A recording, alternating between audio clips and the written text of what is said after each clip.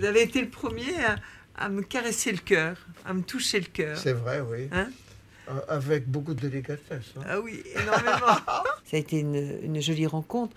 Et par la suite, on a créé une complicité ensemble. Vous avez une belle vie quand même. Vous avez eu une vie très riche, très, très dense, très...